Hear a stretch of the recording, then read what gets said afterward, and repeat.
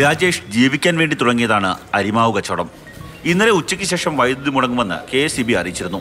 അതിന്റെ അടിസ്ഥാനത്തിൽ അരിമാവ് തയ്യാറാക്കൽ നേരത്തെയാക്കി. പക്ഷേ ഒൻപതരയോടെ വൈദ്യുതി നിലച്ചു നമ്മൾ ജീവിക്കാൻ വേണ്ടി ചെയ്യുന്നതാണ്. അപ്പോൾ ആ ഒരു രീതി കൂടെ ഞാൻ ഇത് ചെയ്തു. എന്നാൽ അവർക്ക് അത് രാവിലെ അല്ലെങ്കിൽ ഇന്നലെ തന്നെ മെസ്സേജ് അയക്കാം. ഒമ്പത് മണി മുതൽ അഞ്ച് മുപ്പത് അഞ്ച് മണി വരെ കറണ്ട് കെട്ടില്ല. അപ്പം ഞാൻ ഈ അരി ഇടത്തില്ലായിരുന്നു. ഇതിനകത്ത് പകുതി ശതമാനം മാവ് മാത്രമേ ഈ മാവ് ഉഴുന്നിൻ അവിടെ വന്നിട്ടുള്ളൂ ബാക്കി ചെക്കി കിടക്കുകയാണ്. ഇതോടെ വിൽപ്പനയ്ക്കായി തയ്യാറാക്കിയ അരിമാവ് പൊളിച്ചു. ഉപയോഗശൂന്യമായി.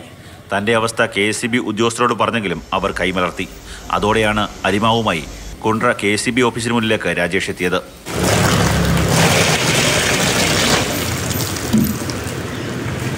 ഇളമ്പള്ളൂർ വേൽത്തമ്പി നഗറിൽ ഫ്ലവർ മിൽ ഉടമയാണ് രാജേഷ്.